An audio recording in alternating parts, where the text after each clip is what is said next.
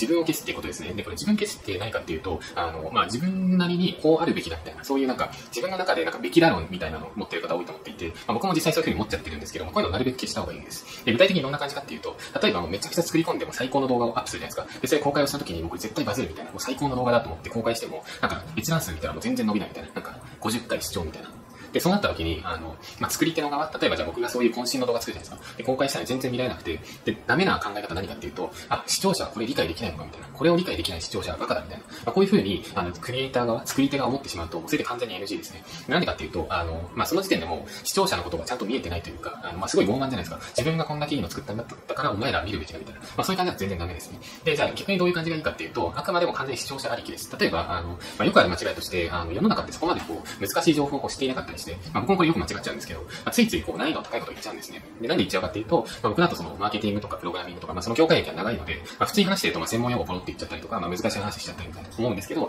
あ、そこっていうのが、あの、必ず、まあ、僕は最近意識してるのはどういうことかっていうと、こうカメラに向かって話しながらも、まあ、その先にちゃんとこう聞き手がいるみたいなっていうのをイメージして、で、その聞いてる方っていうのは、まあ、どういう顔なのかみたいな、まあ、誰に対してこの動画を話してるかっていう、まあ、そのあたりっていうのをちゃんと意識する。で、その際に自分がこうあるべきだみたいな、これを理解できない視聴者バカだみたいな、まあ、そういう感情って完全にダメなんですね。だから、あの、その自分を消す、まあ、自分を消すって言い方ちょっとあんま、あの、良くないかもしれないんですけど、まあ、なんか、自分がこうあるべきだみたいな、エゴイストみたいな、自分のエゴみたいな、まあ、そういうのを消しましょうって、これも大切です。で、続いて一番最後ですね、あの、真似をしまくる。僕のチャンネルは基本的に稼ぐというテーマにおいて発信をしています。で、もしあの、今後収入を伸ばしたいとか、もっとなんか人生の難易度下げていきたいみたいな、まあ、そういう方がいたら、えっとチャンネル登録しておいていただけると、あの、もちろんその全部の動画を見ようとかっていう、そういうふうに言うわけじゃなくて、あの、この動画の内容ちょっと気になるなとか、この、とこの、なんていうんですか、内容って自分あんまり理解してなさそうだなみたいな、そういう動画が流れてきたら、ぜひあの、移動中とかに聞いてもらえると嬉しいです。で、聞いてもらえる、聞いてもらいつつ、かつそのまま実行動を実行していくと、多分収入とか、あと、ま、会社で出世するとかもそうだと思うんですけど、またフリーランスとして独立して稼いでいくとか、まあ、そのあたりの知識っていうのはもう確実にこうアップデートされていくと思います。なので、もしよかったらチャンネル登録しておいてもらって見ていただけると嬉しいです。